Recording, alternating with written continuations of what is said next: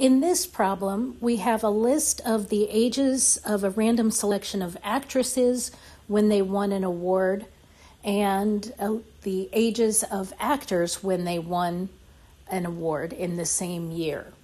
So we've had this paired set of data, and we were told to find the differences of the ages by taking the ages of the actresses minus the ages of the actors. So I just put the actresses in L1, the actors in L2, and then I form L3 by taking L1 minus L2.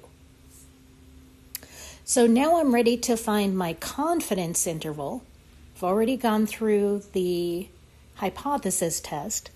So to find a confidence interval based on the same level of confidence that we were working with in the hypothesis test, what I do is I look for the significance level, and that is 0.05.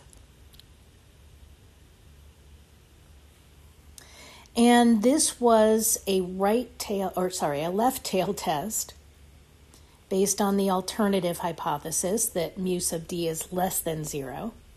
So that means that that 0.05 is in that left hand tail.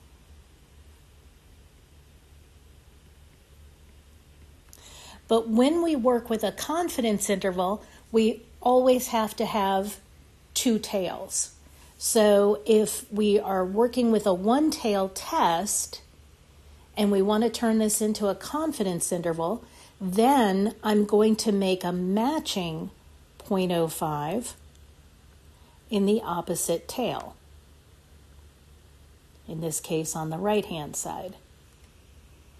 So, what that tells me is that in the center,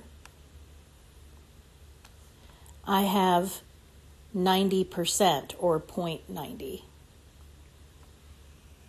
There's 5% on the left tail, 5% in the right tail. That makes 10% total, and the remainder is 90%. So when I go into T interval, because when we work with matched pairs, we use just the regular T distribution and I'm going to use data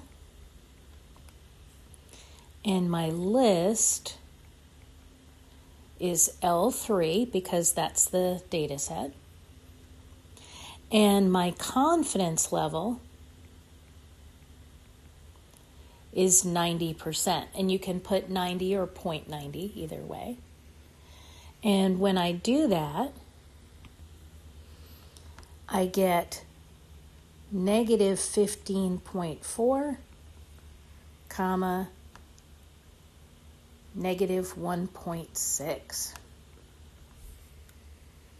So when I look at this confidence interval, it is only negative numbers. And what that tells me is that since zero is not in the interval, we don't believe that there's a likelihood that the values are the same in the two lists. So, since we only have negative numbers, we reject the null hypothesis. And that's how you do that problem.